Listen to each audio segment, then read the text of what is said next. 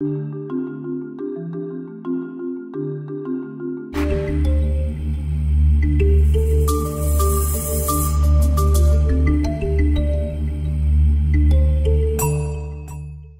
buenos días a todos. Bienvenidos a este ejercicio, Diálogos Empresariales de Logística, un esfuerzo de comunicación que el Grupo T21 realiza desde hace casi ya dos años, eh, en el que invitamos a especialistas a que nos platiquen de los temas de la industria del transporte y la logística.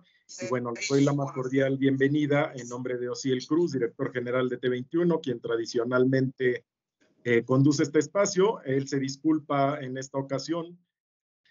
Y bien, me voy a permitir presentarlos. Eh, en primer lugar, eh, les presento a Michelle Lira, quien es gerente de operaciones de Cargo Partner México. Bienvenida, Mich.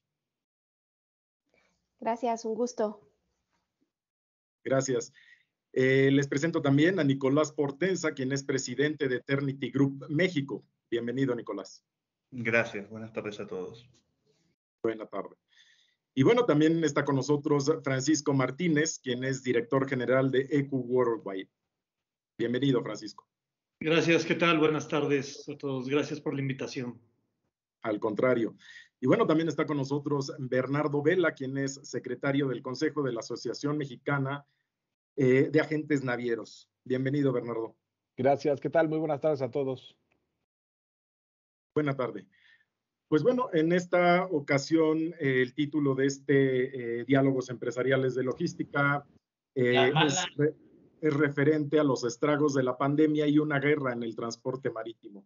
Y esto se da en el contexto eh, de un nuevo brote de COVID en China, que no es nuevo, viene ya de algunas semanas, pero se ha extendido y pues esto, como ya sabemos, eh, causa serios problemas a la logística y bueno, el transporte marítimo es de los principales afectados, ¿no?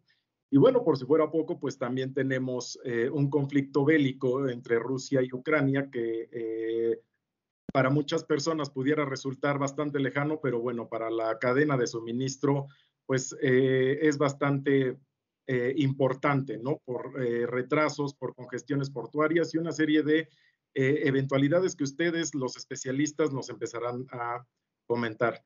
Y bueno, para eh, dar inicio, eh, ¿nos puedes poner en contexto qué está sucediendo justo ahora en China, en este corredor marítimo tan importante que es Asia, dirigido a Estados Unidos, México y pues hacia Centroamérica y Sudamérica también? Claro que sí, Alberto. Muy buenas tardes a todos. Eh, pues les empiezo a platicar un poquito, ¿no?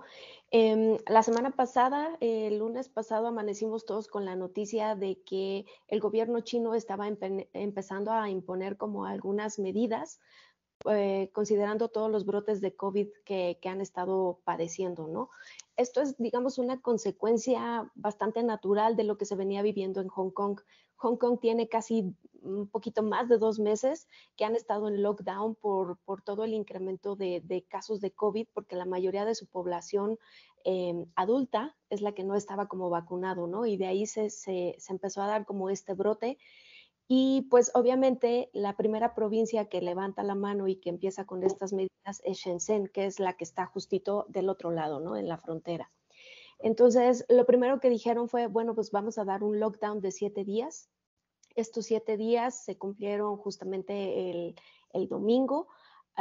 Lo que habían pedido era que todo, digamos, que todas las actividades no esenciales pararan y se regresaran a su casa. Quien pudiera trabajar desde el, desde el hogar, pues que lo empezaran a hacer. Y este, y pues ahorita tenemos ya noticias de que ya regresaron a trabajar, que las fábricas ya empezaron a operar y que está todo regresando como a la normalidad, pero lo que estamos empezando a ver es un impacto eh, de que la mayoría de los proveedores, clientes, etcétera, empezaron como a cancelar bookings, ¿no? Entonces, eh, especialmente el puerto de Yantian, estaba leyendo una noticia por ahí que decía que cayó el 43% de sus bookings en estas tres primeras semanas de, de, de marzo debido a estos eh, efectos, ¿no? Del lockdown y de los eh, casos de contagio que tenemos. Pero no nada más es eso, ¿no? No nada más es el puerto de Shenzhen, sino también, por ejemplo, en el puerto de Shanghai empezaron a poner por ahí algunas eh, medidas bastante fuertes. Por ejemplo, todas las carreteras que van eh, rumbo Jiangsu, que desencadenan justamente en el puerto de Shanghai, estaban el 90% cerradas.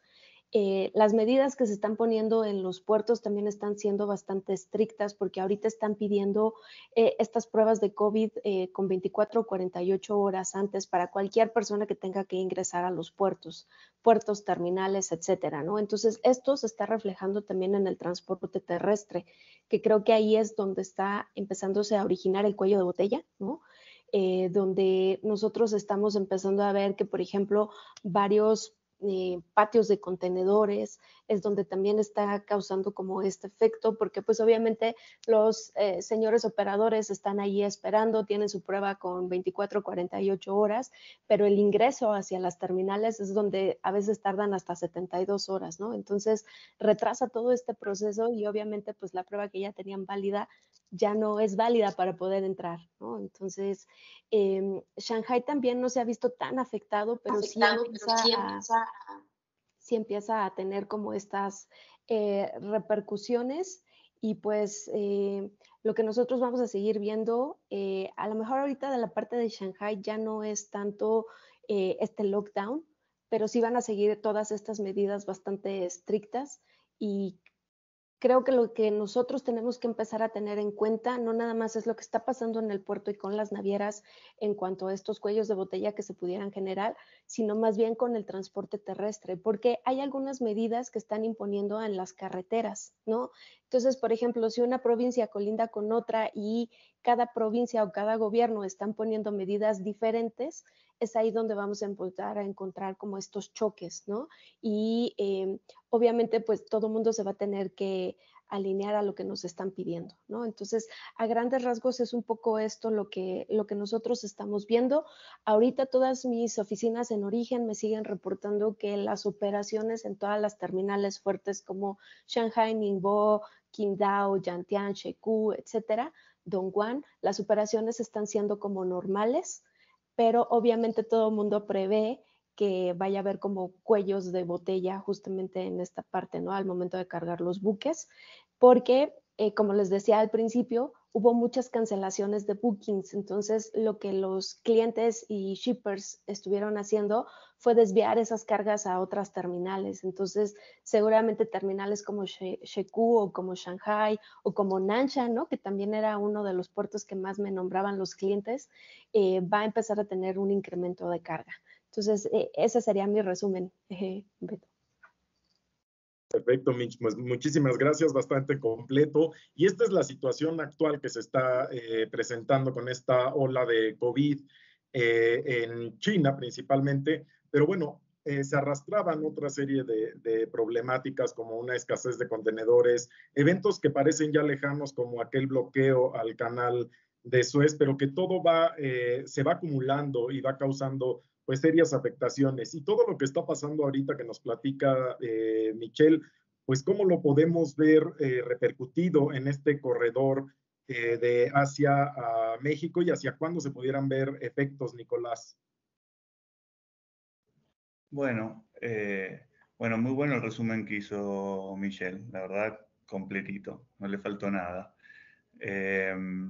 la situación es, es esta, un poco Em, cuando, cuando mencionás el tema de la falta de contenedores y escasez, es que justamente es un efecto, al estar todo conectado, cada situación que se genera es un dominó. Eh, mm, cuando Michelle dice que las operaciones, digamos, funcionan con normalidad, es cierto, o sea, las terminales siguen operando, eh, las líneas marítimas siguen operando, los forwarders seguimos operando, los transportistas siguen eh, operando, pero el tema de las limitaciones y las restricciones afectan el, normal, el normal digamos, flujo de carga.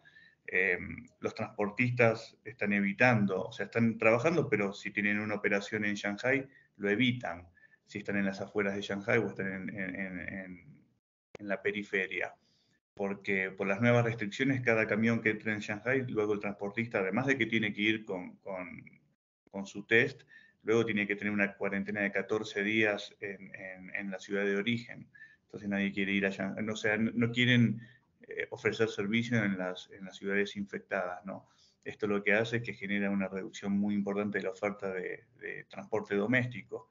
Si hay una oferta de transporte doméstico, eh, más allá de, la situación puntual del contenedor en sí, eh, el exportador se va a ver afectado a la hora de conseguir equipo vacío porque no, primero le va a costar conseguir el camión que lo vaya a buscar. Entonces todo esto genera un efecto eh, bastante complicado eh, en la cadena de suministro.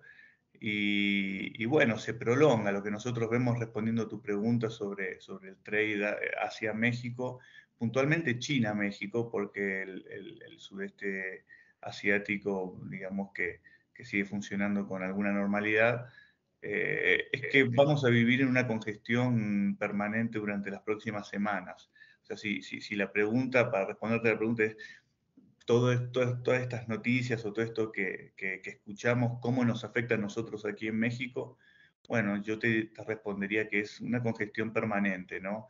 Eh, planificar las órdenes con mayor anticipación, calcular 10, 15 días más de, lead time en, la cadena de suministro, ser pacientes, tener una comunicación muy, muy fluida y directa con los proveedores, con los operadores logísticos. Y, bueno, eh, trabajar bajo estas circunstancias, que es lo que venimos haciendo desde el último año y medio. Em, quizás lo que, lo que uno esperaba al final del año pasado es em, comenzar este año con, con, una dinámica, viendo alguna mejora, ¿no? Eh, eh, en las operaciones logísticas poco a poco, con una normalización del COVID, en, origen y destino, ver que, la operación empieza a fluir con, algo más de comodidad. Pero bueno, no. Eh, con, este, con esta tolerancia cero del gobierno chino eh, y esta afectación con, medidas sanitarias muy rígidas, eh, lo que genera es, la permanente congestión en, en la operación. Muchas gracias, Nicolás. Y bueno, sí, eh, tradicionalmente ya conocemos a China como la fábrica del mundo, ¿no? Eh, y, somos grandes importadores, digamos, en Norteamérica o en todo el continente americano, pues de, ese, de, toda Asia. Entonces, se junta además esta oleada de COVID con los efectos que tradicionalmente causa en, en la logística el nuevo año chino, ¿no? Entonces, eh, la repercusión hacia México, por ejemplo, eh, desde tu punto de vista, Francisco, ¿en qué, cuáles son, los principales productos eh, que se ven con, más afectados, con mayores retrasos, los que tienen mayor complicación para poder encontrar el equipo vacío que mencionaba Nicolás? ¿Cuál es el tema de las tarifas, además, hacia este corredor, hacia México, Francisco? ¿Qué tal? Eh, bueno, pues sí, efectivamente, todo ha tenido un efecto, eh, todo, todo se ha ido eh, juntando, todos los, todos los, toda la problemática se ha ido juntando y, y bueno, como, como bien mencionabas en la introducción, es cuando todos, cuando creíamos que ya estábamos, que 2022 iba a ser mejor, iba a estar más fluido, pues hay varias cosas, ¿verdad?, que no, no se han podido resolver. Eh, eh, nada más quiero eh, contribuir un poquito con, también con lo que, que mencionaba Michelle, que obviamente todo es, el impacto también se está viviendo no solo en, en, los puertos, sino también en el interior. Y es que China, el gobierno chino todavía no, todavía no ha definido cuáles son sus estrategias de, de lockdown, ¿no? Eh, comentan, platicando con algunos colegas allá en, en China, eh, eh, definitivamente no esperan un, nuevo lockdown general, pero sí, sí va a ser, sí lo van a ir manejando por, por, lugares, ¿no? Dependiendo la cantidad de, infecciones que se tengan, están están evaluando, están diseñando cuáles van a ser esos planes, esas estrategias de, detención. Y esto pues afecta también a los transportistas y eh, almacenes.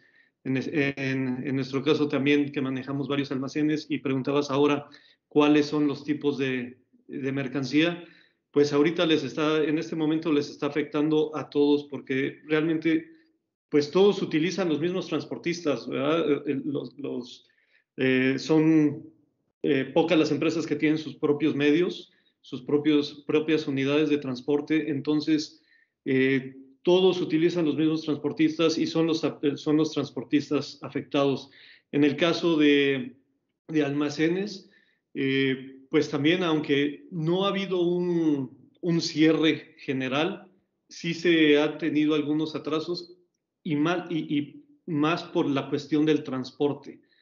Eh, eh, hay, hay, congestiones para ingresar en el momento que, que, empieza a haber disponibilidad de unidades, pues inmediatamente se, se, bloquean los, los, almacenes, ¿no? Entonces, esto lo, eh, lo vamos a empezar a, a, ver en diferentes lugares, en diferentes puertos. No, no ha acabado, ¿verdad? Y en, en la cuestión de, en la cuestión del, del de, las tarifas que, preguntabas, pues en este momento se está viendo una reducción, ¿no? Desde la semana pasada para acá, eh, se está viendo una reducción en los niveles de tarifa, aunque también hay cierto temor de aventurarnos a reservar con tarifas bajas perdiendo las reservaciones que ya teníamos anteriormente. En nuestro caso tenemos reservaciones con más de un mes de anticipación. Entonces está, está la, el, temor, ¿verdad?, de, agarrar la tarifa baja y perder el espacio que ya tenemos, es algo en lo que nos estamos enfrentando ahora.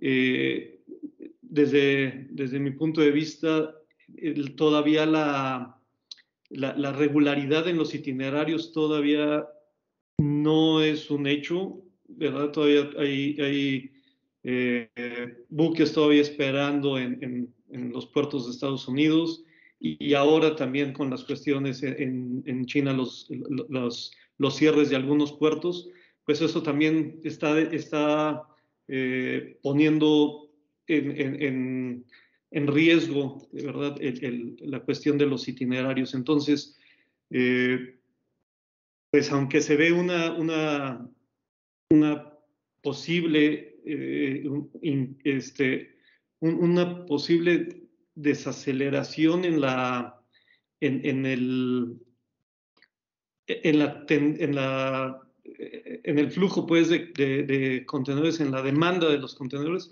sí creo que mucho tiene que ver la, la, cuestión de, de, la frecuencia. Ok, y bueno, eh, pues como dices, eh, tradicionalmente estamos en la eh, temporada baja, ¿no?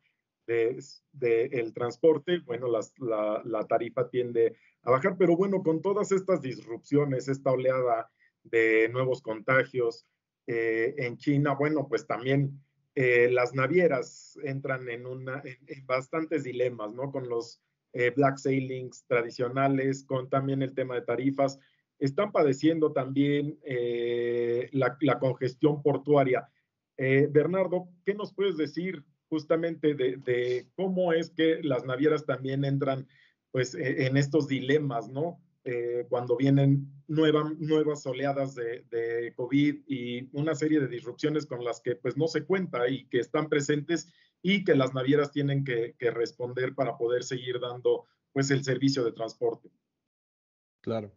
¿Qué tal, Alberto? Bueno, es, muy complejo, ¿no? Lo que hemos eh, dialogado con todos los, socios, ¿no? Y, bueno, todas las medidas que se toman es básicamente tratar de, establecer la, mejor ruta o alternativa posible, ¿no? Eh, adicionando a los puntos comentados por Michelle, por Nicolás, por Francisco, es pues básicamente la, limitante que hay en algunos puertos o algunas terminales, ¿no? Por, por tener eh, personal suficiente para realizar todas las operaciones, ¿no? Y en automático esto es un problema porque obviamente no puedes hacer todos los movimientos o quedas limitado a hacer X número de movimientos por barco, ¿no? hablando de todo tipo de embarcaciones, ¿no? Porque no solamente es contenedor, que es obviamente lo, que más vemos por, por, estar impactado, pero es todo mundo, todo tipo de mercancías que, que, vienen desde Asia, ¿no? Entonces, ese yo creo que es el principal problema, afecta a las terminales, ¿no? Afecta a todos los proveedores de servicio alrededor, transportistas, afecta a los pilotos, a las aduanas, a todo el personal que está alrededor del puerto, y obviamente, pues este es un es una complicación más, ¿no? Que ya al, ya tan complicado eh, día de hoy, día a día que tenemos para poder mantener los itinerarios y las frecuencias.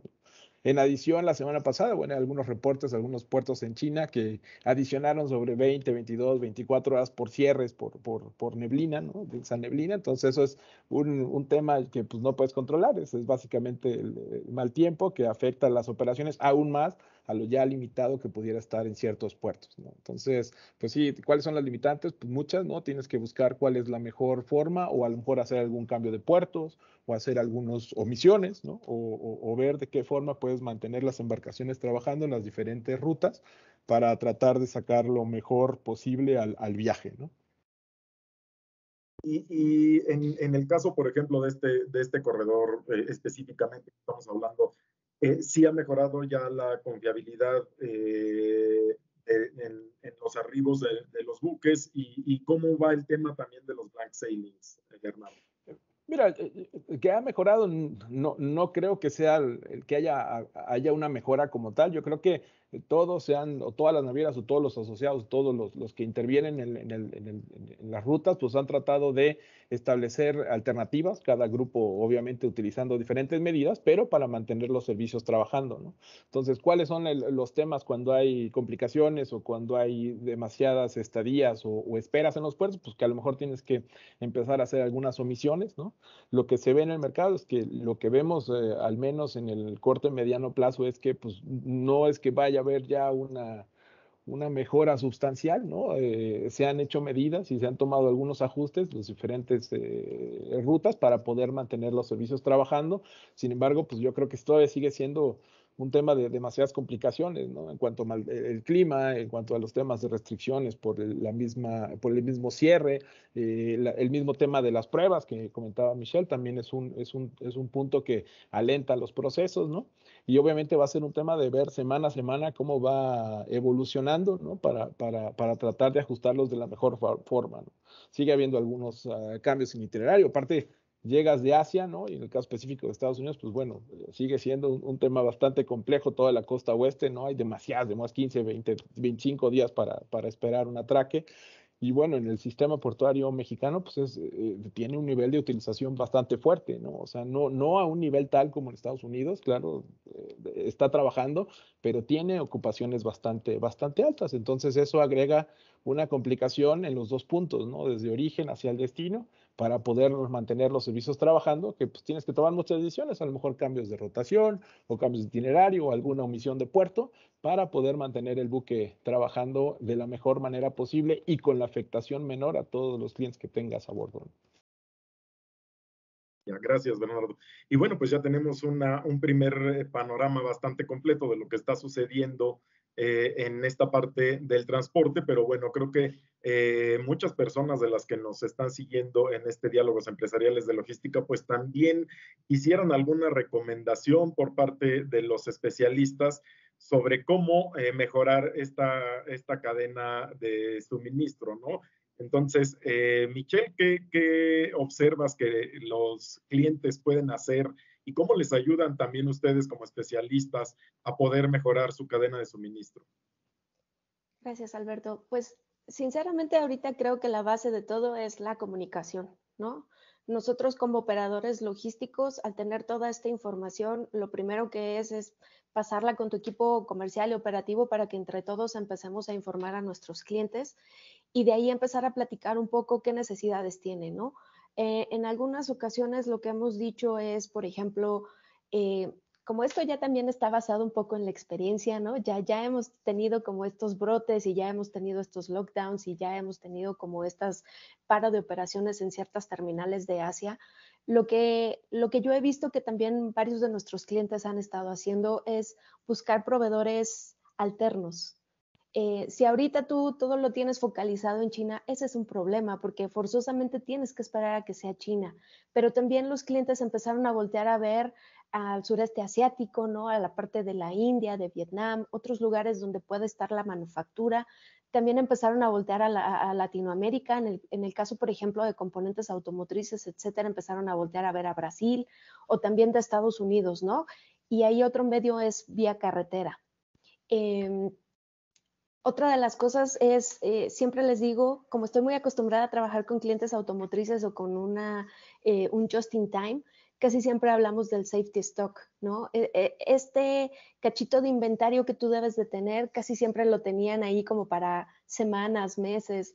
A veces ahorita ya se tiene que pensar en la parte del aéreo, ¿no? Ahorita están diciendo que el mejor cliente del servicio aéreo está siendo el servicio marítimo porque ahorita todo lo que no podamos sacar por, ah, por vía marítima, pues em, en lugar de que tu costo del aéreo te cueste, no sé, 60 mil dólares, a lo mejor si lo vas planeando, pudiera empezarte a costar con, con menor cantidad Em, algo accesible para dentro del presupuesto de los mismos clientes, ¿no? Entonces, esa, también es una medida.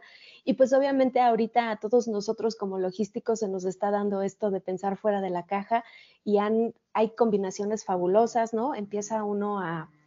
Mm,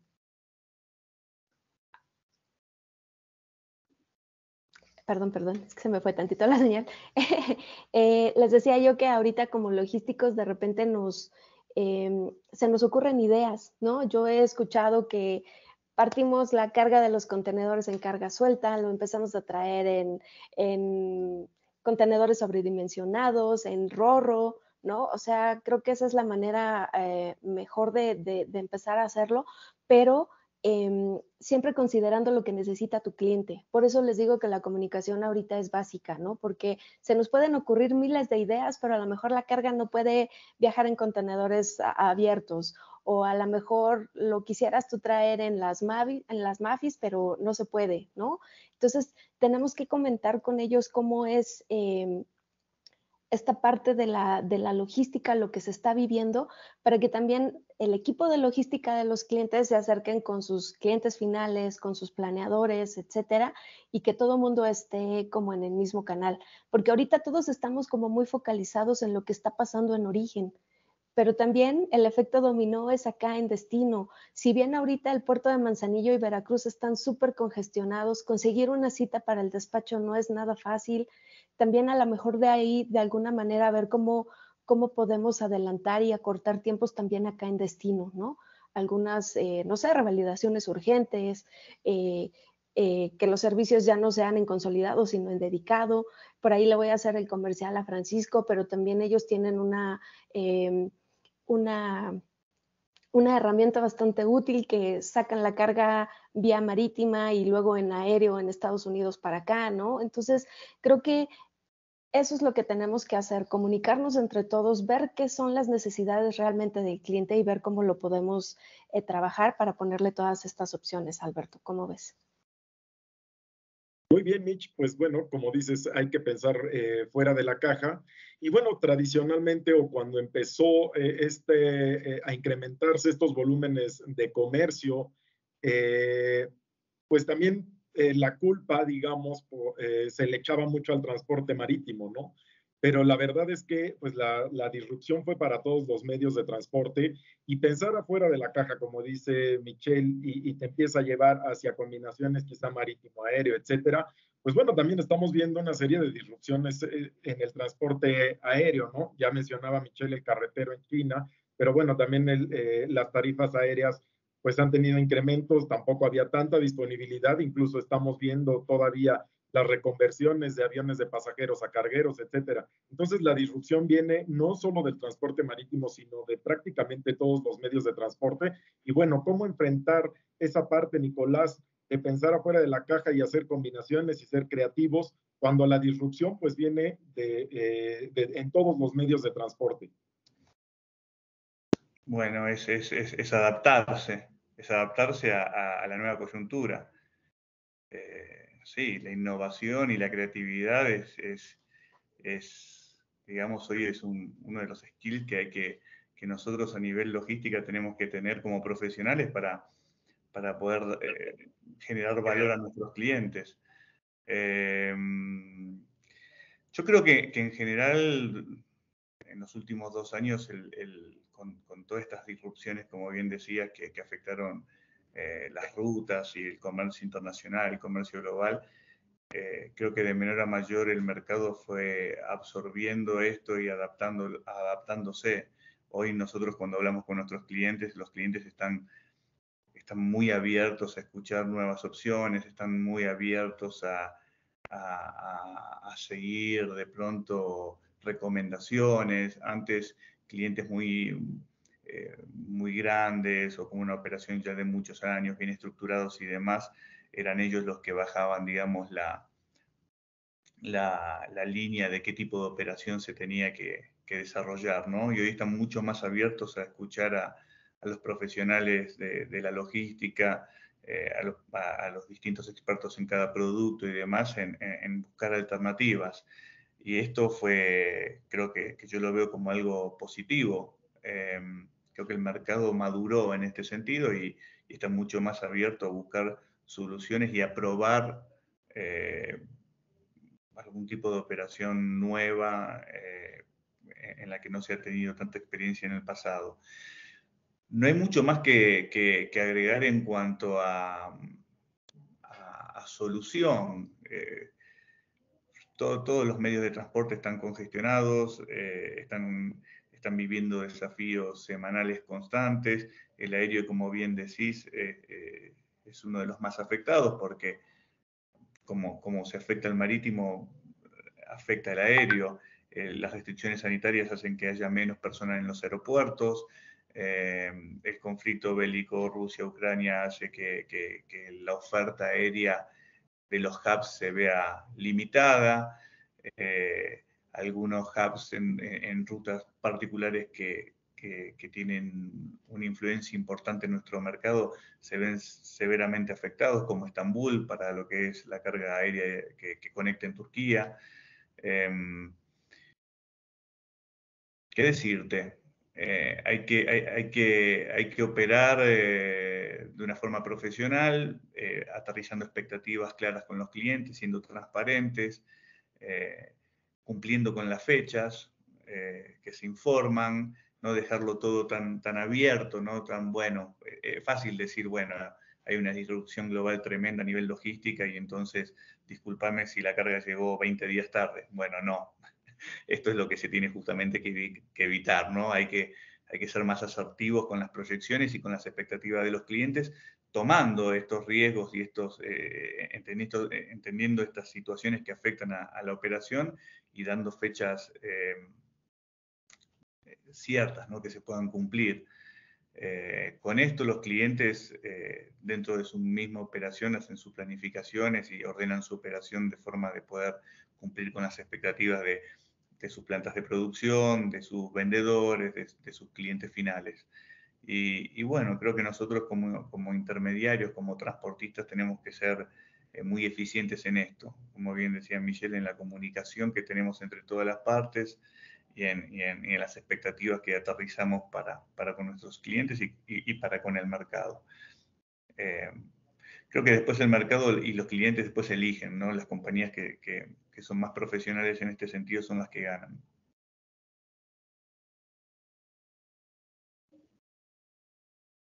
Gracias, Nicolás. Y bueno, pues ya, eh, como dices, el mercado se volvió también más flexible eh, al observar eh, que quizá no es eh, tanta garantía ya como previamente se les podía decir que la carga llegaba en algún momento, pues ahora finalmente estas disrupciones cambian los, los, itinerarios y bueno, el mercado se volvió flexible. pero también, Francisco, ya que Michelle hizo el comercial de las, de las nuevas soluciones, ¿no? justo es eso, ¿no? Empezar a buscar cómo tratar de garantizar con la creatividad, eh, con negociaciones entre, proveedores, con cambios quizá de eh, la cadena de suministro, pues eh, intentar garantizarle al cliente, ¿no? Que la carga se va a mover, que va a llegar y que también el costo eh, no se va a disparar, ¿no? Que ese es otro que otro tema que el cliente siempre te va a estar eh, debatiendo, el costo de mover su mercancía. Obviamente lo quiere rápido y lo quiere a buen costo. Entonces, esta, eh, es, es, esta parte de diseñar nuevas soluciones. Y en México, eh, ¿cómo, ¿cómo, se ha avanzado en ese aspecto? O sea, los proveedores, pues todos tienen disrupciones, también están funcionando bien, Paco. Claro, pues bueno, en cuestión del costo, creo que eh, muy difícilmente vamos a ver los costos que se, venían manejando en el pasado. Es un hecho de, eh, el, como dicen por ahí, lo más caro es lo que no hay, ¿verdad? Entonces, en este sentido, eh, como desde mi punto de vista, ya ahora el freight forwarder, como siempre ha sido, eh, siempre se ha vendido, ¿verdad? Eh, el, eh, es el que oferta a los, a, los importadores, a los exportadores, son los que le pueden ofrecer una gama diferente de productos, una combinación de productos. En este momento, el freight forwarder toma una, una relevancia muy fuerte porque tiene el expertise de, de varios, de, de, varios clientes que utilizan diferentes medios de transporte entonces, eh, puede en un momento dado dar buenas soluciones, ¿verdad? Eh, hay, eh, hay, varias, hay varias opciones, hay un, un, un, buen mercado en, el, en, la cuestión del freight forwarder. En México no hay cifras oficiales, ¿verdad?, de qué volumen se maneja a través de los forwarders, pero todavía hay un buen mercado, hay, eh, una, buena parte del mercado donde el freight forwarder puede seguir avanzando. No estamos a los mismos niveles de Europa, de Asia, que, la mayor cantidad de, el mayor volumen se mueve a través de forwarders. Entonces, aquí en México también eh, considero que, que, que, los importadores exportadores pueden buscar ese proveedor que les, que les ayude a encontrar las soluciones.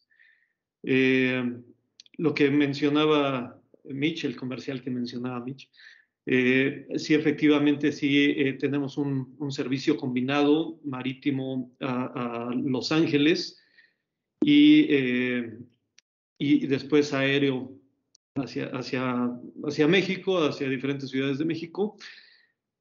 obviamente no es infalible aunque el, tiempo de travesía está muy bien controlado en Estados Unidos, se tiene una, un servicio muy específico, muy, eh, muy puntual. Sin embargo, bueno, también tenemos el, tema del aéreo, ¿verdad? Este, cada vez más eh, hay mayor demanda para el transporte aéreo. Sin embargo, sí puede ser una muy buena, muy buena opción para alguna relativa urgencia. No es, no, no es para urgencias, no bien es para este, para entregas un poco más programadas. Y aquí es eh, el, segundo punto al que voy, es eh, una, una posible solución, y obviamente esto dependerá de la industria, es eh, dosificar los pedidos, tratando de manejar pedidos más pequeños, sea disminuyendo la cantidad de contenedores que se maneja, ¿verdad?, por embarque, o incluso pasar algunas algunas partes eh, al servicio LCL o al aéreo incluso, ¿no? El tema es eh, mantener esa cadena siempre en el agua, manteniendo, o en el aire, eh, en, el, en, el, entendido que no, no hay, en este momento no hay una cadena infalible, no hay un, un, servicio infalible, siempre debemos tener una, un backup ya en tránsito. Eh, adicional, bueno, a lo que mencionaba eh, Mitch, ¿verdad? De, de, tener un stock de seguridad en un momento dado cuando son, son piezas, componentes, mercancía de, valor. De valor para la, cadena de suministro, ¿no? Dependiendo de la industria. Esos serían mis dos puntos, Luis, que podría. Muchas gracias, Paco. Y bueno, las navieras, eh, Bernardo, no se han cruzado de brazos, ¿no? También eh, han respondido a, toda esta serie de disrupciones, inyectando eh, capacidad, nuevas órdenes de construcción de buques, nuevas compras de contenedores, incluso diseñando también la cadena de suministro de sus clientes de puerta a puerta, ¿no? De extremo a extremo. Entonces, cuéntanos, Bernardo, cómo, cómo justamente la industria naviera a nivel mundial es que ha reaccionado a toda esta serie de, disrupciones en la cadena. Bueno, sí, eh, viendo y platicando con todos los, socios ¿no? y, nuestros representados, pues obviamente es buscar, como comentan todos los compañeros en el panel, buscar todas las opciones posibles. ¿no? Yo creo que va mucho en función de los tipos de mercancía, de las cadenas de suministro. Habrá que a lo mejor que algunos tengan que hacer cambios en cuanto a la planeación, los tiempos, ¿no? A lo mejor a veces quieres traer algo, pero a lo mejor no se fabrica con esa frecuencia, ¿no? Entonces, o con ese costo para poder eh, entrar al mercado. Entonces, pues yo creo que es un análisis completo de, de, las necesidades específicas de cada cadena de suministro y cada tipo de producto que los, obviamente los usuarios finales, ya sean destino en origen, pues tienen que hacer para ver cómo, cómo pueden ellos acercarse a sus proveedores de servicios, sus proveedores marítimos, sus proveedores logísticos, para encontrar la mejor solución a, la problemática actual y cómo pasar por ella. ¿no? Esos cambios a lo mejor totalmente de idea, de formas, de usos, de costumbres, de planeación, en el cual puedan eh, mantenerse los, los, productos en donde se necesitan en el tiempo requerido, ¿no? con el menor impacto del costo. Entonces es algo que creemos que obviamente hay, hay, muchos cambios, hay algunos que están cambiando, pues no sé, puertos, algunos están cambiando tipos de transporte, como lo que comentaban, cambiando algunos aéreos con marítimo o haciendo combinaciones en el mismo, o buscando proveedores en otros lados, ¿no? Y al final es en la, en la, combinación de todo esto y de las posibles alternativas que, que, cada uno pueda ver, es la que, la que mejor podrá tomar solución. Pero, pero sí, obviamente hay, hay cambios importantes en, el, pues en, la, en la industria, ¿no? Eh, tratando de buscar pues, la mejor ventaja comparativa y competitiva y de servicio que pueda mantener a, a la industria trabajando. ¿Y, cómo respondieron, Bernardo, las, las navieras desde eh, un principio? Porque, eh, bueno, ya hay buques que se van a entregar, ¿no? En este mismo año y que, bueno, no tardan dos meses en construirse. Entonces, ya desde antes eh, venía una respuesta agresiva también por parte de la industria para inyectar capacidad, ¿no? Pues, eh, bueno, son planes, obviamente hay, hay de dos, hay dos tipos, hay planes de, de, de, de más que de, inyectar capacidad, pues hay cambios en las flotas, ¿no? Así como entran un gran número de embarcaciones, hay un gran número de embarcaciones que salen ya por, por años de servicio y porque necesitas cambiarlos por eso, por allá. Vienen las nuevas regulaciones también del IMO, las cuales tienen coeficientes de medición para, eh, eh, como saben, la industria está buscando el eh, bajar las emisiones en un nivel muy, muy, muy importante para, para, para que sea un modelo sustentable. Entonces, hay muchos cambios en cuanto a eso y obviamente eso conlleva el tener eh, embarcaciones de otro tipo. Eh, entonces, hay una preparación, sí, de, cómo servir al mercado, obviamente de una manera eficiente, sustentable. Sin embargo, pues estos son planes que llevan eh, mucho tiempo, ¿no? también que puedan recibir las embarcaciones en los diferentes puertos también son adecuaciones que se tienen que hacer de manera en tiempo y forma coordinada y eso no es fácil, ¿no? Hay muchas decisiones de, de inversión, las cuales tienen que llevar a cabo. Hay puertos o terminales que pueden crecer, otros que no, y obviamente en dependencia de eso es cómo las, las rutas marítimas pueden o no irse configurando. O modificando. Entonces, creo que la industria obviamente ha hecho en general, ¿no?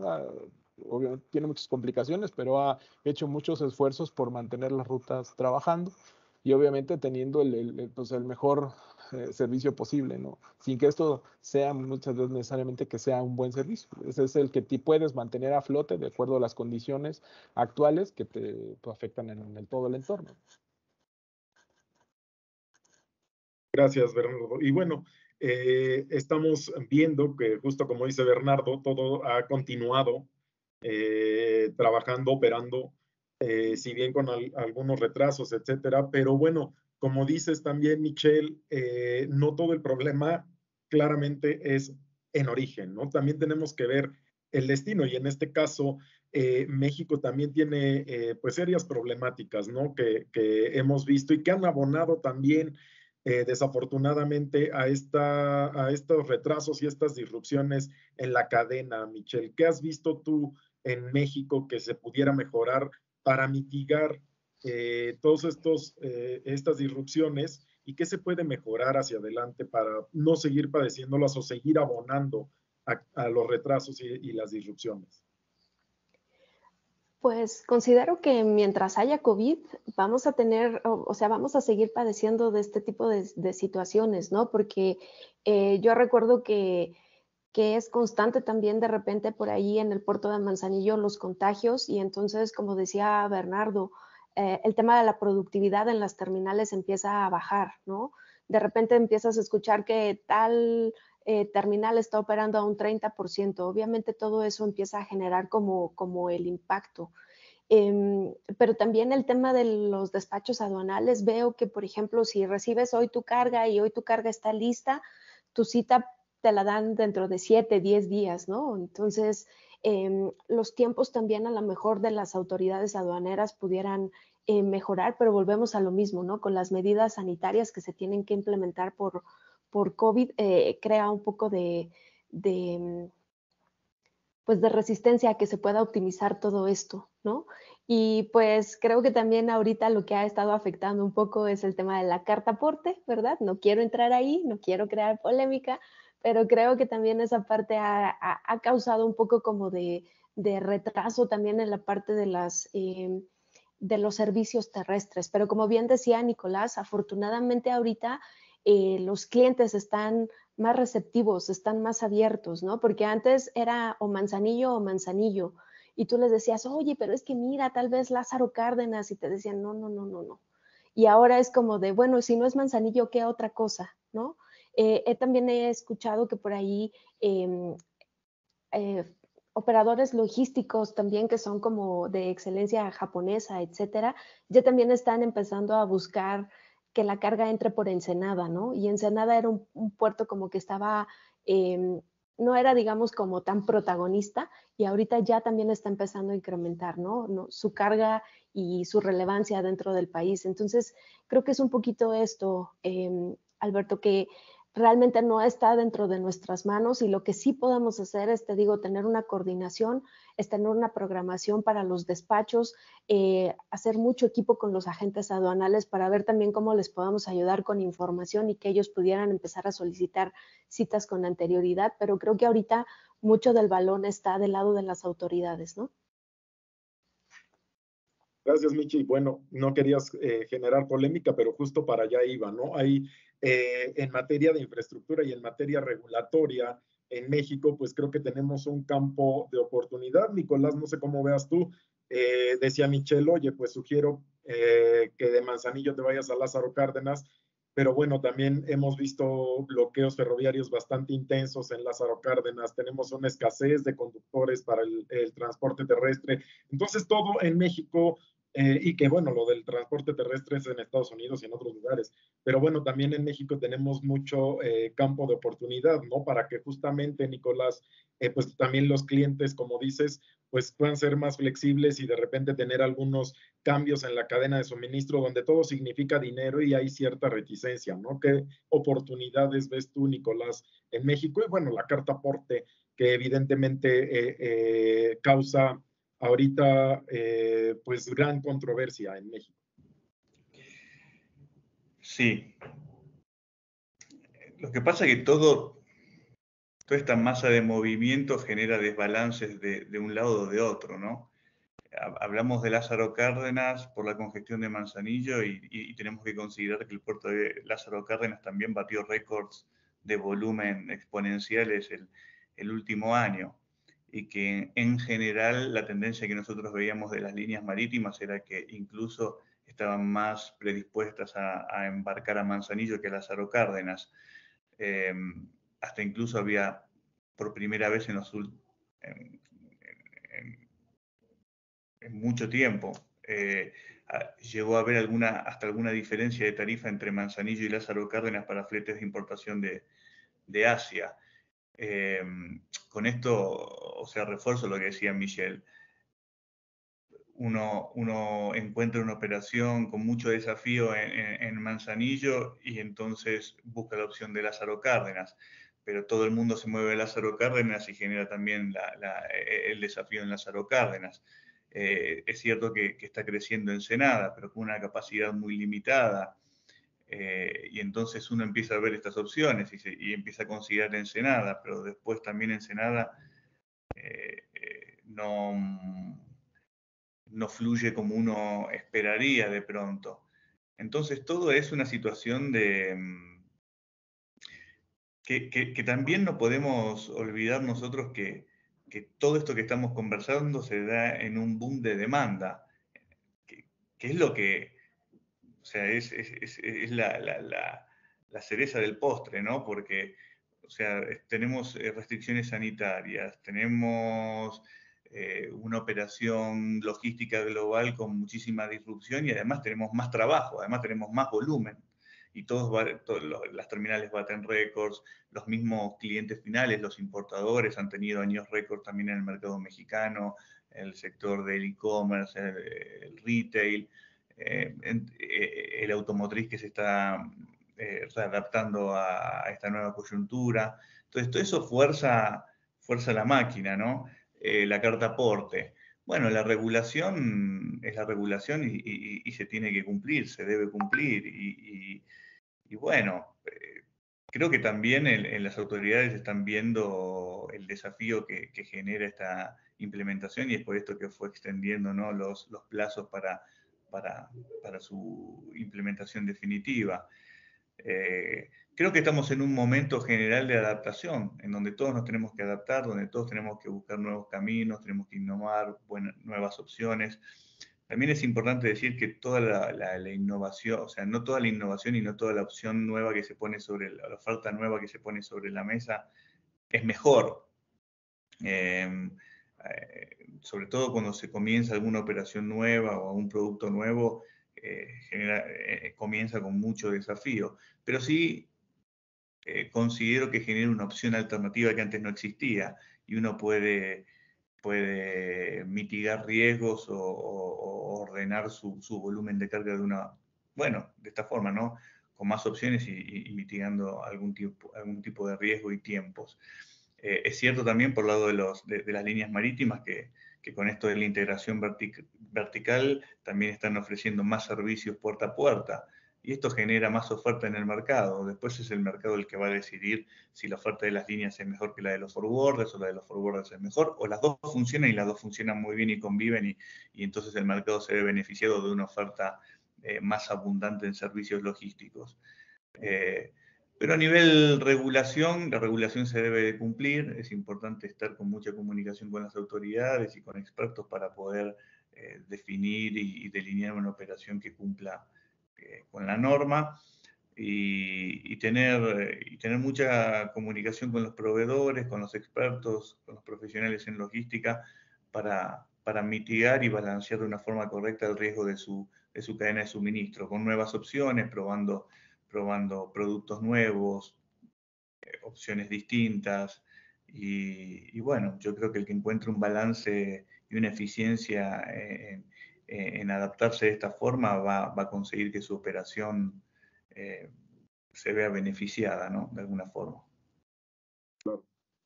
Claro, Nicolás. Y bueno, eh, si algo fue, se aceleró también durante esta pandemia, pues fue la digitalización de, servicios, ¿no? El, apoyarse en tecnología, no solo pensar fuera de la caja, como dice Michelle, y diseñar los nuevos eh, servicios combinados, como eh, bien dices, Francisco, sino eh, pues que todos, tanto clientes como proveedores, también se apoyen de la tecnología. Y no sé, desde tu punto de vista, Francisco, si estemos avanzando bien en la implementación de nuevos procesos tecnológicos y la digitalización de la cadena en México, incluso eh, vemos que hay eh, serios problemas con, la parte tecnológica dentro de esta polémica carta aporte que hay que cumplir, ¿no? Entonces, eh, vemos constantes retrasos en las aduanas, con caídas en los sistemas, etcétera. Pues también creo que toda esa parte pudiera abonar, ¿no? A que nuestra cadena de suministro sea mucho más fluida, Paco. Sí, la verdad es que Definitivamente, un, ente muy importante en toda la cadena son las autoridades. Eh, las, la infraestructura con la que se cuenta en todos los sentidos, puertos, carreteras, unidades, etcétera, son limitados en un momento tan fuerte de demanda. Y, creo que eh, pues muchas, muchas empresas, ¿verdad? En el sector, navieras, forwarders, líneas transportistas, almacenes, etcétera, todos están volcados de alguna manera y en cierto grado a la digitalización, a la conectividad de la información, que toda la información eh, pues se, esté tratando de vincular entre los diferentes aspectos, eh, entre cada uno en, toda la cadena. Y desde mi punto de vista hay un, eslabón delgado y son las autoridades.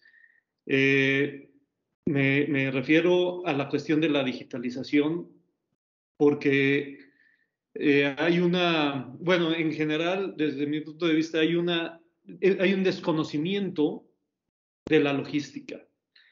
Todos están en su punto de batalla, están tratando de hacer algo, de resolver algo, si, si, si su idea es resolver, porque en algunas ocasiones cuesta trabajo pensar que están resolviendo.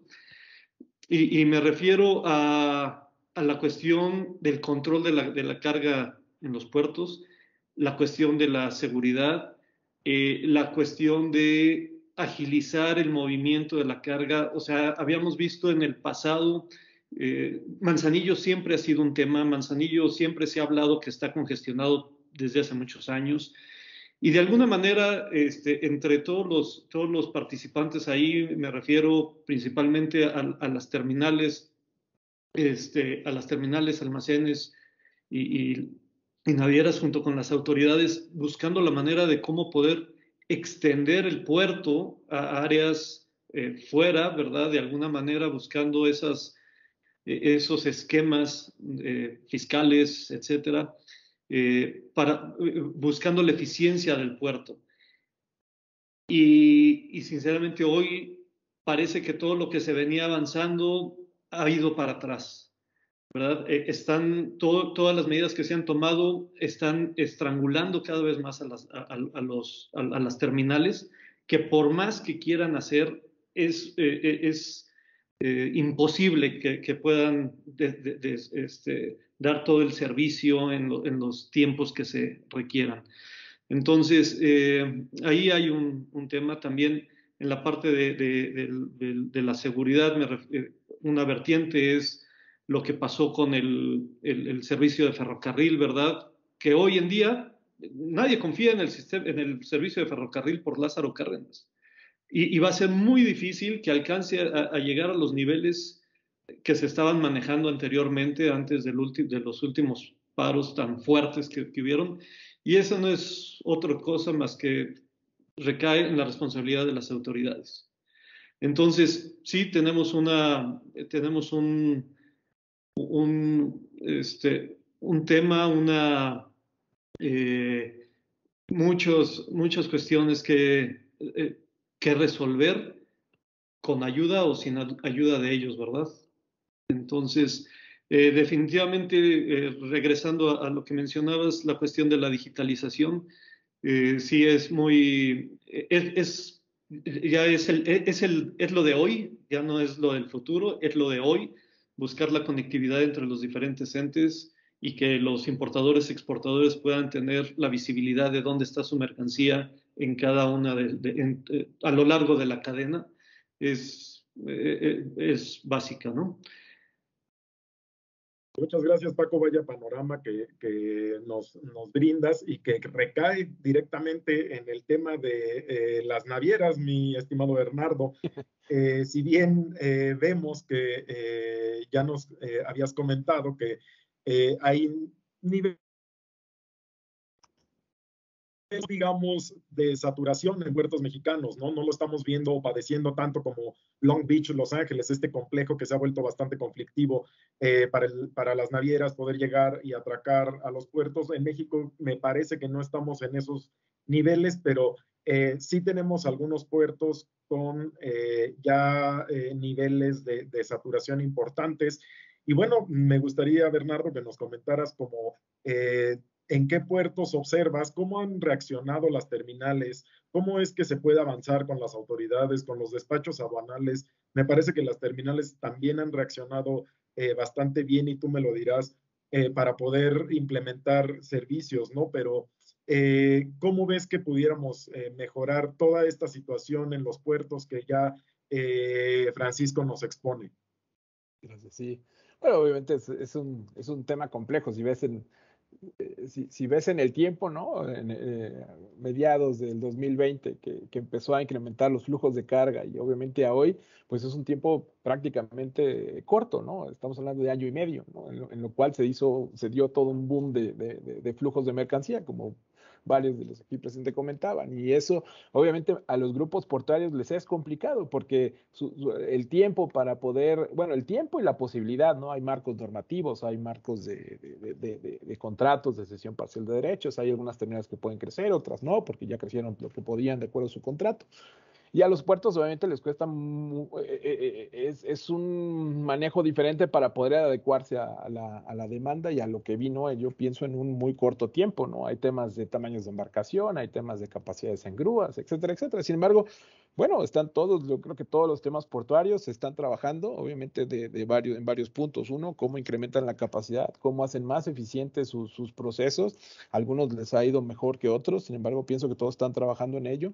Pienso también que si trajéramos a empresas de Estados Unidos y vieran que los tiempos de espera son uno o dos días, pues estarían felices en, comparación con lo que tienen hoy en Estados Unidos, ¿no? Que son tiempos de muy, muy extendidos o horas reducidas de operación en las mismas entradas salidas de aduana. Sin embargo, bueno, son sistemas totalmente diferentes. Pienso que, que, los puertos están trabajando en ello. Eh, creo que llegamos a un punto eh, ya no muy lejano en lo cual tendría que haber alguna pues, facilidad de poder tener ya aduanas 24/7, ¿no?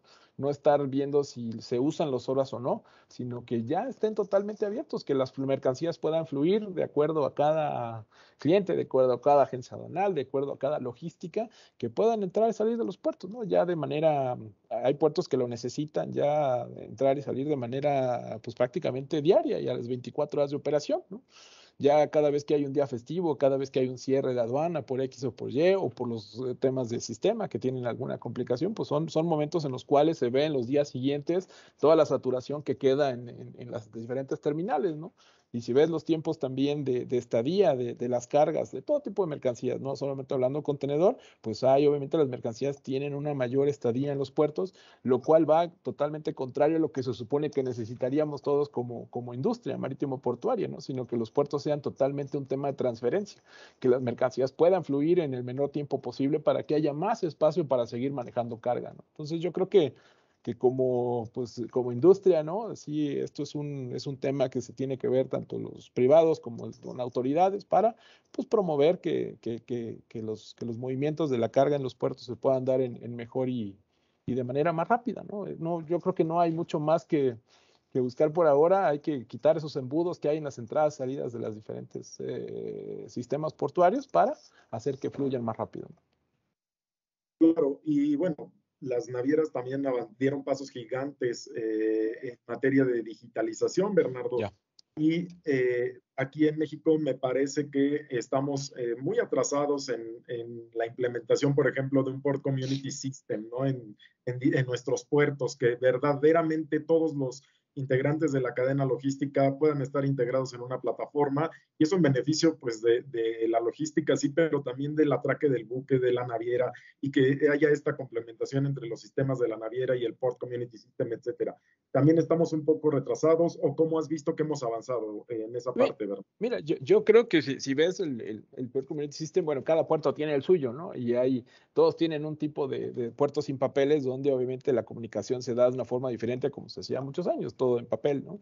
Eso creo que ha avanzado, todos los puertos han avanzado en ello, sin embargo, bueno, ya los temas de, facilidad para ciertos tipos de mercancía solamente se dan para ciertos tipos de mercancía, ¿no? Entonces, esto tendrá que evolucionar para que los programas puedan ser a lo mejor extendidos a otros tipos de mercancías, otros tipos de, carga, otro tipo de empresas, para que puedan realmente poder tener una mayor eficiencia y facilidad en la entrada y salida de las mercancías a los puertos, ¿no? Eh, creo que todos, eh, muchos de los los asociados en sus diferentes desarrollos de sistemas o los puertos en los desarrollos de sus propios sistemas, pues han ido avanzando, han ido avanzando mucho. Sin embargo, todavía falta mucho camino para que todos puedan tener una integración o porque todos podamos ofrecer diferentes medios digitales. ¿no? Cada grupo está haciendo sus desarrollos propios y pues es el inicio, ¿no? Yo creo que esto va a seguir avanzando, va a ser una como tipo guerra tecnológica, ¿no? Todo el mundo va a empezar a poder poner al mercado mayor eh, facilidad y mayor eh, tecnología al servicio de, la,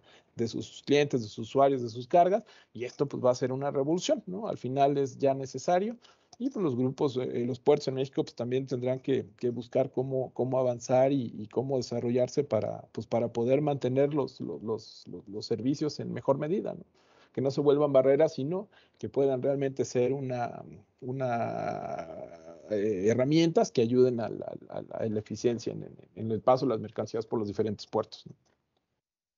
Claro, gracias Bernardo. Y bueno, eh, hablas de una eh, guerra tecnológica y ahora de esta guerra tecnológica vamos a pasar a una guerra bastante lamentable en pleno 2022 que está causando o abonando a toda esta serie de disrupciones eh, que ya hemos platicado, ¿no? Las navieras, las aerolíneas tienen los servicios suspendidos en Rusia y Ucrania por el conflicto bélico que mantienen desde hace prácticamente un mes o estamos a días de que se cumpla un mes. Y bueno, todo esto sin duda va a abonar a todo lo que ya hemos platicado en esta primera hora de eh, diálogos empresariales de logística y dirigiéndonos hacia el final, pues Michelle, me gustaría que eh, me comentaras cómo estás viendo que se está desempeñando la logística, pues en esta región del mundo y los efectos que va a, tener o que esperas que se puedan reflejar hacia eh, la logística, pues en este caso internacional. Sí, claro que sí. Pues mira, actualmente yo me encuentro trabajando en un forwarder austriaco, ¿no? De origen austriaco. Y lo primero que nos comentaron fue este cierre del ferrocarril intercontinental, los que mueven la carga de China a Europa, ¿no? Entonces, ellos alrededor de, mueven alrededor como de 500 mil teus al año. Entonces, al cerrar esta parte, pues obviamente tienen que buscar otra manera de cómo mover todos esos TEUs. Así es que lo que nosotros esperamos es que todo eso se vaya otra vez vía marítima para la parte de Europa. Em, a la par también quiero comentar, y no sé, eh, eh, nos estamos enfocando también mucho en la parte de China, pero también la parte de Europa no ha estado nada, nada bien. Em, Empezamos por ahí el mes de febrero con unas tormentas bastante fuertes en todo lo que fue el norte de Europa, lo cual empezó a causar como muchos problemas en las terminales, sobre todo en la parte de Hamburgo, ¿no? Por ahí empezaron a meter algunas medidas bastante estrictas, etcétera. Pero obviamente si impactan lo que es eh, Hamburgo, pues eh, se da un efecto por ahí dominó con Rotterdam, con Le Havre, con todos estos puertos que están ahí cercanos y las congestiones también han estado bastante, bastante complicadas, ¿no?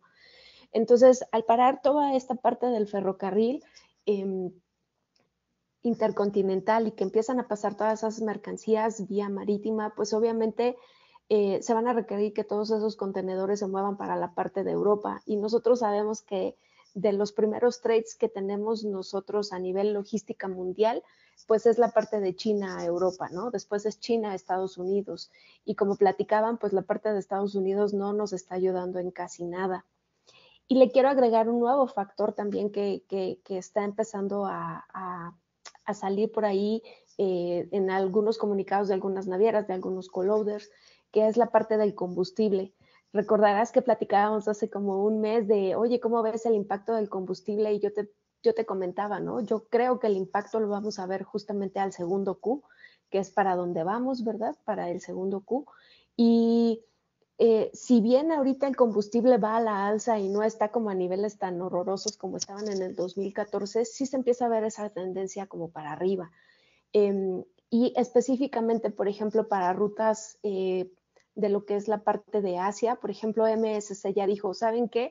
Que toda eh, la revisión del combustible se va a hacer de manera semanal o quincenal en lugar de trimestral o mm, para estas rutas, ¿no? Saliendo justamente de la parte de Asia hacia México. Entonces, esto quiere decir que a lo mejor no vamos a ver un incremento de tarifa como tal sobre el flete marítimo, pero sí a lo mejor algunos accesoriales como el bunker, como el emergency surcharge y cosas así por el estilo, ¿no? Entonces, em, creo que ahorita el cuello de botella o el impacto fuerte va a ser de Asia para Europa, pero justamente si Europa y toda esta parte de Asia no se descongestiona, el impacto que vamos a tener hacia México y obviamente en Latinoamérica va a ser bastante fuerte por este, por este punto, ¿no? Llamémoslo escasez de contenedores, incremento de, accesoriales al, flete marítimo, eh, tiempos de tránsito, porque bien lo decía Bernardo, Em, o Nicolás, creo que también lo mencionaba un poquito, de que tienes que empezar a incrementar tus tiempos de tránsito. Em, si la rotación de nuestros buques eh, toca 12 puertos y en cada uno de los puertos estamos teniendo 3, 4 días de atraso, pues entonces ya realmente tu mercancía no está llegando en las tres semanas que te estaban diciendo, sino este, entre las cinco y las seis semanas, ¿no? Entonces, creo que todavía eso lo vamos a seguir viendo y obviamente también si en México la situación pues no cambia a nivel Latinoamérica, pues también somos como un bloquecito más para toda la carga que va a llegar para Latinoamérica. Entonces, es un poquito lo que te quería contar de cómo estoy viendo el efecto de, eh, pues de lo que está sucediendo con el conflicto bélico. Gracias, Mitch. Y bueno, eh, es, nos pintas el, panorama, ¿no? Sabemos que hay puertos europeos bastante eh, congestionados y esto está restando capacidad en, los contenedores para poder mover la mercancía. Viene justamente lo que mencionas con esta parte de los incrementos en el búnker. Y bueno, todo eso me eh, quiero imaginar, Nicolás, que hacia adelante eh, tú que eres también un gran especialista en el tema tarifario, ¿no?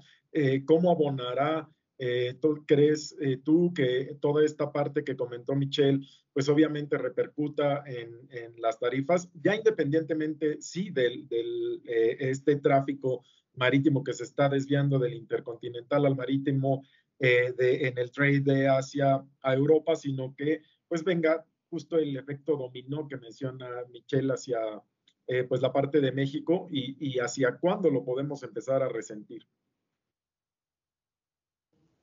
Yo creo que, mm, bueno, son, varios puntos a considerar. Eh, a nivel tarifa, de hecho, eh, la tarifa está, el nivel de tarifa libre o, de corto plazo en la ruta hacia México está a la baja desde las últimas semanas, ¿no? Esto tiene que ver eh, en, gran medida con, el factor demanda, em, con la situación de China que hablábamos antes de, las restricciones sanitarias, que viene acompañado del Año Nuevo Chino, y bueno, eh, eh, estamos en un momento que habitualmente es el slack la temporada baja, entonces digamos que el mercado se deprime y, los niveles tienden a bajar estoy de acuerdo con, lo que decía Francisco, que no, vamos a ver niveles pre-COVID de tarifa durante los próximos años, no, no, durante los próximos dos años, por decir. No, no, vemos esta situación en base a la inflación global, en, base al alto costo de combustible, en, en base al alto costo de, de chartering que hay en la industria marítima, eh, ahora, el, incremento del banker eh, sobre, generando un impacto sobre la tarifa, o sea, no lo veo como algo que, o sea, es real, sucede, pero no lo veo como algo que va a impactar en al importador mexicano. O sea, el, importador mexicano, o sea, que como que lo va a llegar a percibir y va a decir, no, y encima ahora tenemos que pagar un, un costo de combustible más alto no creo que, sea este el impacto que tenga el, eh, importador eh, mexicano, porque el nivel de tarifa todavía sigue siendo alto. Si bien, si bien bajó durante las últimas semanas, el nivel está altísimo todavía. Entonces, digamos que se diluye ese impacto de, costo de combustible que genera el conflicto bélico y demás en, la tarifa final marítima por contenedor. Em, después yo creo que, el factor demanda se va a mantener alto durante todo este año. Eh, creo que va a ser un año similar al, año pasado en ese sentido. Eh, todavía, pese a, la inflación y pese al conflicto bélico y demás, nosotros por lo menos vemos que, la tendencia hasta el final de este año va a ser de una demanda alta todavía. Eh, entonces esto va a generar que los niveles eh, de flete marítimo sigan eh, fortalecidos. O sea, tenemos que considerar que la diferencia entre el 2020 y 2021 en, cuanto a costo marítimo en la ruta principal marítima de México, que es Asia o China-México, se disparó en más de un 300%. Eh, no vemos una, dinámica similar este año en comparación con el 2021. O sea, obviamente creemos que la tarifa llegó a un punto, o sea, tocó un techo el, año pasado, durante el final del año pasado, y creemos que, este año la tarifa va, o sea, no va a sobrepasar ese techo, se va a mantener. En este momento está, está baja, estamos en un nivel de 8 mil dólares por contenedor, o sea, a nivel general, un nivel de 8 mil dólares por contenedor eh, marítimo de, de puerto base de China México y creemos que durante abril, mediados de abril, la tarifa va a empezar levemente a subir. Eh, esto tendrá que ver con, la demanda y tendrá que ver con la ocupación de, los servicios y tendrá que ver también con las distintas estrategias que utilizan los armadores para, para eficientizar sus servicios también. Nosotros esperamos blank sailing durante las próximas, sea, la próxima semana y la siguiente. Eh, esto genera que, un efecto sobre la capacidad y, bueno, es cierto que hay muchos bookings que se están cancelando y que, hay una tendencia, por eso la tarifa baja, pero esto nosotros lo vemos como, un efecto eh, temporal por, el tema de, la crisis sanitaria y algo de especulación también, pero creemos que esto se va a recuperar eh, durante las próximas semanas. Entonces, a nivel tarifa, te diría que el costo del combustible no es algo que tiene que preocupar al importador mexicano, como resumen. Te diría que a nivel tarifa también nosotros esperamos un, nivel de tarifa promedio en todo el año por arriba de los 10 mil dólares, con lo cual este nivel es un nivel eh, favorable para el importador mexicano. Em, te diría que el conflicto bélico no va a generar un impacto eh, eh, peor al importador mexicano de lo que viene viviendo durante los últimos meses. Eh, esto yo creo que el conflicto bélico lo que genera para nosotros acá de este lado del mundo, en México, es congestión, se, repiten las mismas situaciones que, deberían con el tiempo empezar a, resolverse. Bueno, no se van a resolver, van a perdurar un poco más habrá que seguir adaptándose, habrá que seguir teniendo paciencia, habrá que seguir innovando, buscando soluciones alternas, pero este creo que es el impacto que genera la guerra y, el, costo del combustible al importador mexicano. Creo que es de esta forma como, debemos esperar eh, eh, experimentar esto durante los próximos meses, por lo menos durante las próximas semanas. Gracias, Nicolás. Y bueno, Francisco, pues eh, ya eh, Nicolás nos dice que se espera que pues la demanda continúe fuerte en el transcurso de este año, pero bueno, eh, desde tu punto de vista, por ejemplo, este conflicto ah, de la invasión de Rusia a Ucrania con toda la serie de restricciones que ya tienen los productos en Rusia, con los bancos rusos, las transacciones comerciales, ¿cómo crees tú que eh, eh, se ve afectado, por ejemplo, que nos alcance esta oleada de afectaciones ante ya la saturación, por ejemplo, en los puertos europeos, eh, en la cadena de suministro, en esa región de Asia a Europa? Pues, ¿cuál va a ser la oleada que prevés que, que sí nos pueda impactar? Nicolás nos comenta que probablemente no sea tan fuerte, ¿no? Pero eh, quizás sí haya algunos elementos para pensar que pueda haber alguna afectación eh, en el trade de Europa hacia ahora. eh, pensando en el trade de Europa hacia América, pues obviamente tocando México, ¿no? Pues sí, definitivamente ya el, creo que el impacto ya se está viendo eh, y, bueno, sumado ya también a, los a, lo que veníamos viviendo. Ya está muy complicado realmente el, el tráfico de, de, Europa hacia México, Latinoamérica. Está eh, con los atrasos que se, que se han tenido y eh, los atrasos también por, por el mal clima, etcétera, sí ha sumado a una fuerte eh, desestabilización en la regularidad del servicio. Hoy está, es complicado, o sea, para, desde hace una semana ya no había espacio en, en marzo, quizá para la primera semana de abril, eh, está, está muy complicado y aquí el, el, creo que el mayor problema, la mayor incógnita es cuánto va a durar la guerra. O sea, porque eh, todo el impacto va a depender de eso. Si, si, si, si, la guerra continúa, entonces va, sí, obviamente va a tener unos impactos mucho más fuertes, ¿verdad? Porque eh, al continuar, obviamente se tiene que, voy a, probablemente a decir exageraciones, pero empezar a, mover mayor armamento y el armamento se mueve en cargos e, en, buques trampa, entonces esa carga va a buscar manejarse en buques portacontenedores, va a tener una, un, efecto obviamente en la mayor utilización. Eh, por otro lado, este, estoy, estoy de acuerdo con Nicolás, eh, eh, el, impacto en el combustible se pueda diluir. Al igual, ¿cuánto? Pues todo depende cuánto vaya subiendo, eh, a, seguir subiendo el combustible, ¿verdad?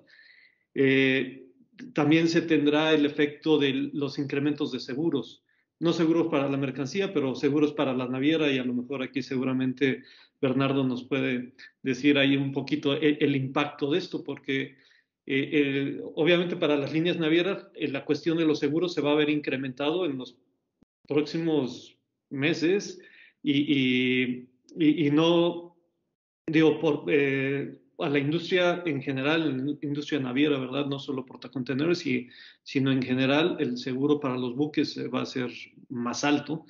Eh, hay obviamente buques derribados ya en la zona del conflicto, entonces todo esto trae un, efecto.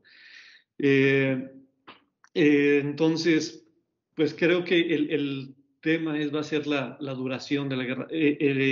También el transporte de los granos, como, como, se, como sabemos o como hemos leído, eh, esta parte ¿verdad? De, Ucrania es un fuerte abastecedor de granos, principalmente trigo, tienen, eh, manejan el 25% del, de la producción de, de, trigo a nivel mundial.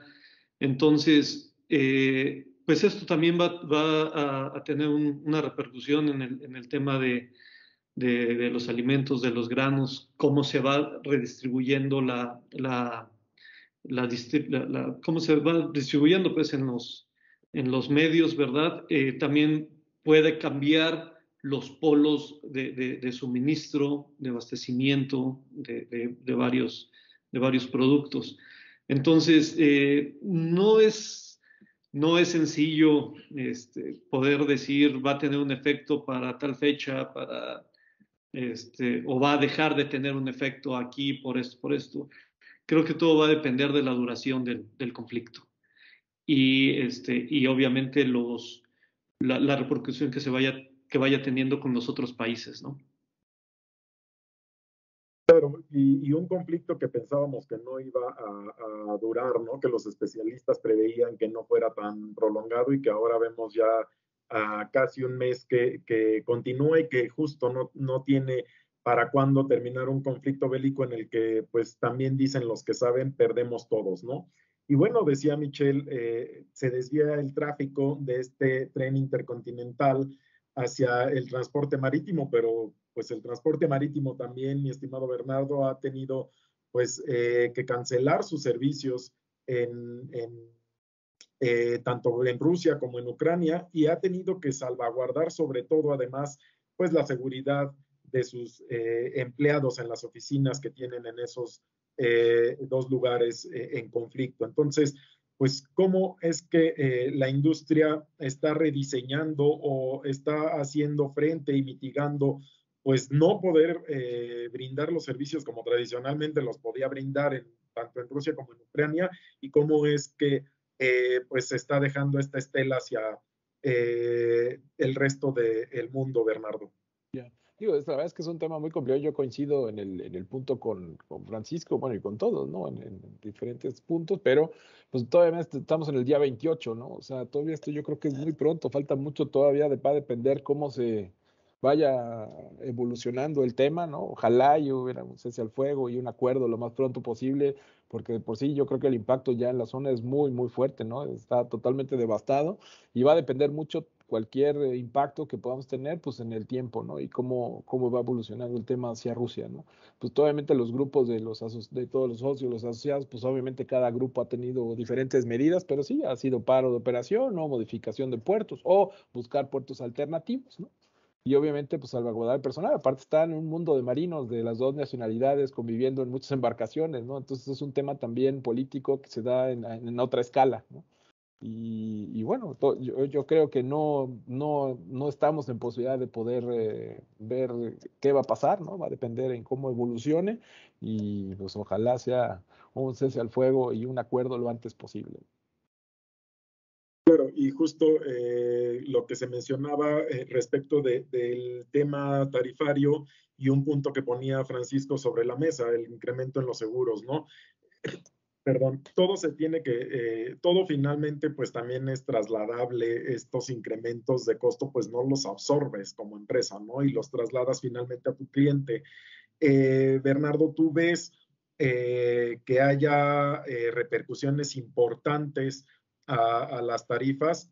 Eh, Nicolás y Paco coinciden eh, junto con Michelle que el tema del búnker eh, pues finalmente se diluye en la tarifa, ¿no? No es, no son aumentos, estos recargos no son aumentos tan grandes, pero finalmente pues ahorita vemos también el, el, tema del costo del combustible creciendo y hacia adelante, ¿cómo ves que se pudieran comportar las tarifas por parte de todos los asociados, Bernardo?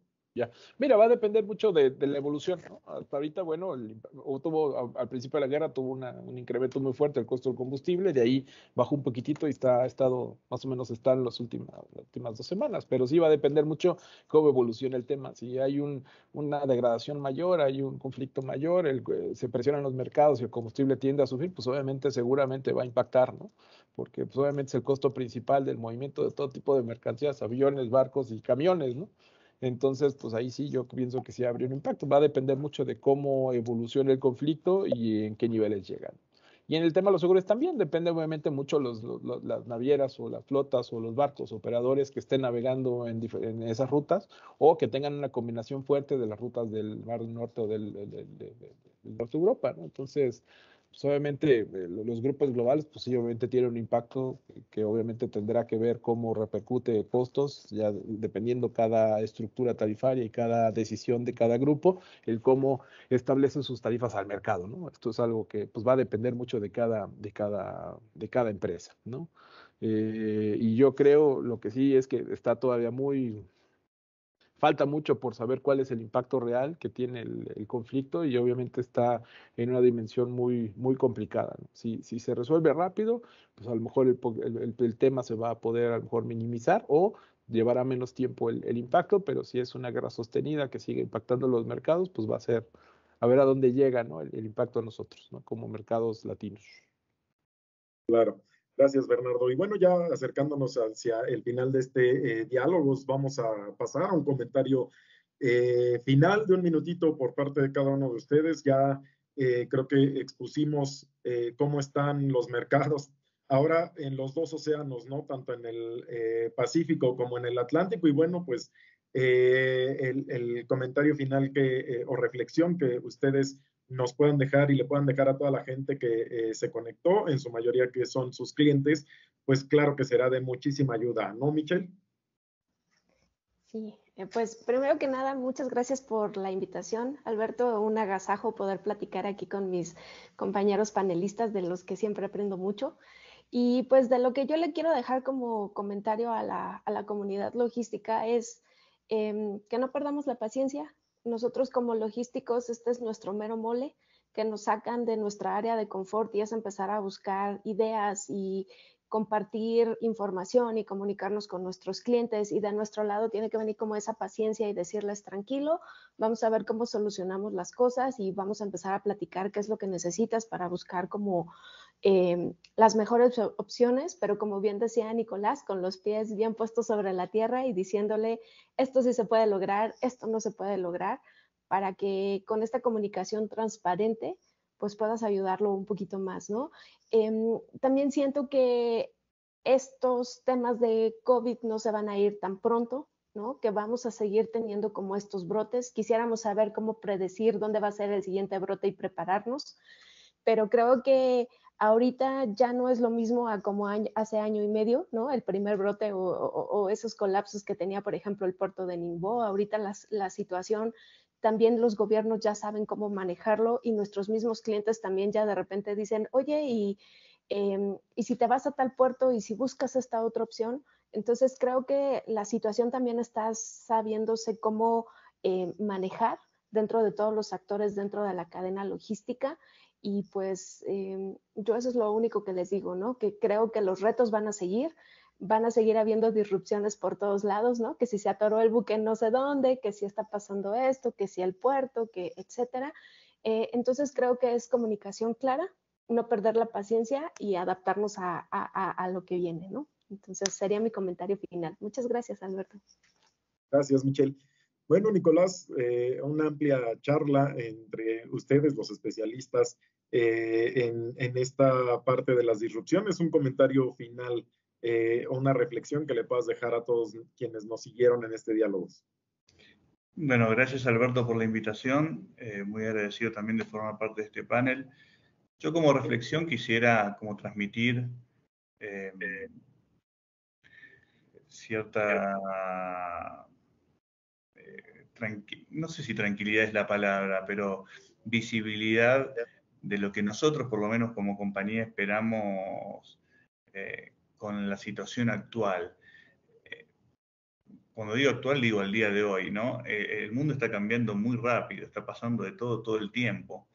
Eh, y, está tan conectado que lo que pasa en, alguna parte del mundo afecta en, la otra punta, ¿no? Entonces todo puede cambiar mañana, o sea, mañana se, desata la Tercera Guerra Mundial y a nosotros nos, nos cambia la vida, incluso estando en México. Entonces yo creo que que sin ir, eh, sin abrir tantas puertas, sin, sin, abrir tantas variables, porque, porque, nunca se sabe, ¿no? Uno le pregunta a Bernardo sobre los seguros en, un conflicto bélico para la industria marítima, y Bernardo, ¿no? que, que, que, puede responder, ¿no? Todo, hay, que esperar a ver cómo se va desencadenando todo y a ver qué, cómo va impactando eh, todo sobre la industria. Pero yo lo que quisiera con lo que quisiera terminar es que el día de hoy, con la situación actual, eh, al importador mexicano o al, o, al, o, al, usuario de servicios logísticos en México, por lo menos lo que tiene que esperar en, en, las próximas semanas o en los próximos meses, con un contexto como el actual, es simplemente una congestión eh, sobre las cadenas de suministro como la actual. O sea, no, no, no, no quiero, o creo que el mercado está, eh, como, como, dicen acá en México, ¿no? Viene aguantando vara desde hace dos años, viene con sorpresas constantes, una vez por mes, viene, como muy mortificado en cuanto a, esa, eh, a esa necesidad de adaptación a, sobre lo que está pasando. Entonces, y de pronto quizás ahora nos escucha a nosotros, dice, bueno, y ahora la nueva situación sanitaria en China, el conflicto bélico en Europa, ¿qué, qué, me va a pasar ahora en México durante los próximos meses? ¿no? Yo lo que quisiera transmitir es, es como tranquilidad y decir, bueno, por lo menos lo que nosotros vemos es que la situación no va a mejorar como quizás al final del año pasado esperábamos que mejore, creo que va a seguir congestionado y, no mucho más. O sea, todo lo que se habló es, así, yo comparto con todos mis colegas. Eh, cada comentario sobre cada eh, tópico que, se discutió. Y, bueno, decirles, miren, la tarifa va a estar eh, en este nivel de acá hasta el final del año, si nada extraordinario vuelve a pasar de magnitud hasta diciembre.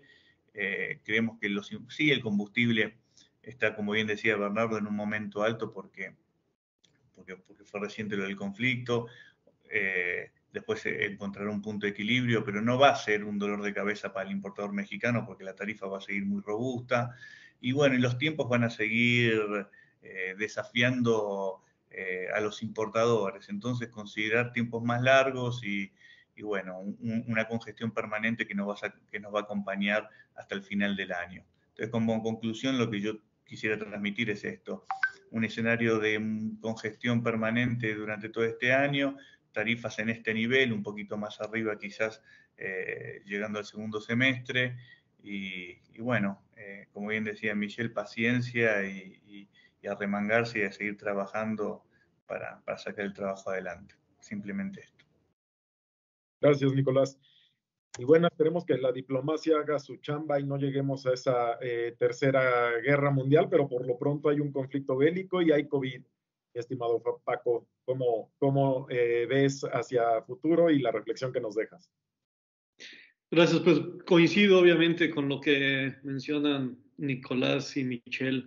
Por un lado, definitivamente el, el, el congestionamiento va, va, a continuar, van a continuar los, los cambios, los pequeños lockdowns, ya no va a ser un lockdown eh, como, como, como se vivió el año pasado, pero va a ser más, más por regiones.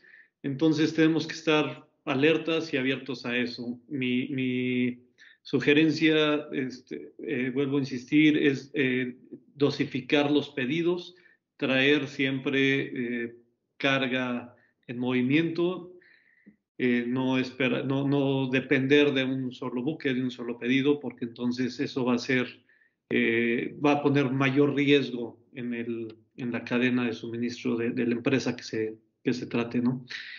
Eh, y, y, pues bueno, como bien también mencionó Mitch, eh, no todo está hecho, o sea, creo que también es la oportunidad para, para hacer, para innovar, para pensar qué más podemos hacer eh, en todos los sentidos.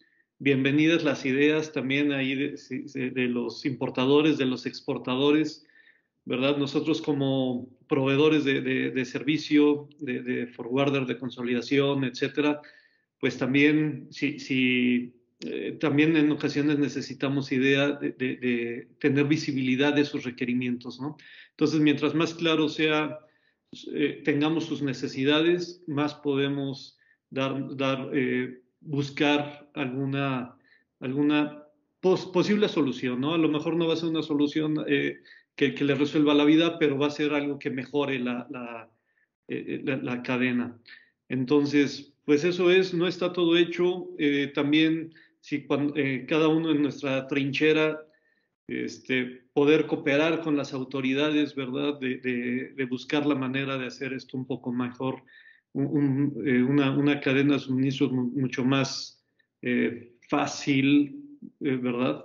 Ellos obviamente tienen su punto, pero también eh, el, transporte tiene el suyo. Entonces, eh, buscar obviamente la cooperación entre los diferentes, eh, de, los diferentes actores en la cadena, creo que es lo, es lo que nos va a sacar adelante. Claro, gracias, Francisco. Y bueno, menuda chamba tienen las navieras, Bernardo, para poder dar continuidad a los servicios, bastante resilientes han sido, eh, creativas en, los movimientos, la tecnología también les ha ayudado, eh, derivado de una experiencia ya previa, ¿no? De, de, una crisis bastante severa que los golpeó muchísimo por eh, bastante tiempo, entonces ahora mejor preparadas y bastante resilientes para hacer frente pues a toda esta parte, ¿no? Sí, bueno, muchas gracias, eh, eh, Alberto, ¿no? desde la parte de la Asociación Mexicana de Agentes Navieros de la MANAC, les agradecemos mucho el habernos invitado, con mucho gusto participamos y, ampliamos donde se puede y donde no se puede, no. no pero también este, Michelle, eh, Francisco y Nicolás, muchos saludos, creo que aunque Francisco no coincida conmigo, no, en el último punto, pero yo coincido mucho con, con ellos y Y pues sí, si hay algo que podemos nosotros decir, eh, obviamente todos los grupos están trabajando de la mejor forma para poder eh, servir al mercado, en la asociación también localmente, pues tratar de presionar los puntos o las necesidades de los socios y del mercado y del servicio para, para bien común, ¿no? Y, trabajamos con muchas asociaciones también eh, locales para, para, poder tener temas comunes de mejor manera, como el dichoso cartaporte que mencionaba Lichelle, que ha sido todo un, tema este año. Pero bueno, eh, creo que, que, si algo podemos nosotros decir o aportar es, eh, pues hay que, en estos ambientes tan volátiles, ¿no? La planeación tiene que ser a muy corto plazo, ¿no? Y, y con muchos ajustes, ¿no? En la marcha, o sea, a lo mejor haces tu plano, pero tendrás que cambiarlo o ajustarlo de acuerdo a cómo se dan las condiciones. Y realmente, como decía Nicolás, los, temas y los cambios se dan día a día, semana a semana. Tenemos cambios drásticos ¿no? en, el mercado y lo que presiona entonces, pues tendremos que, ser muy, muy, muy adaptarnos a, las circunstancias y tratar de sacar el mejor camino a ello. Perfecto, claro que sí, Bernardo. Y bueno, pues por mi parte, eh, no me queda más que agradecerle eh, en primera instancia a nuestros eh, cuatro expertos de lujo en este diálogos empresariales de logística. Muchísimas gracias, Michelle Lira, Nicolás Portensa, Francisco Martínez y Bernardo Vela. Eh, gracias también a todos quienes se conectaron para seguir en vivo este programa, más de 70 eh, personas en vivo. Y bueno, recordarles a todos que este programa queda grabado, se sube en nuestro canal de YouTube y el día de mañana también se publica un pequeño resumen en el portal de T21 que evidentemente dirige a esta parte del video. Por mi parte eh, es todo, les agradezco muchísimo y nos vemos en la próxima edición de Diálogos Empresariales de Logística. Hasta pronto.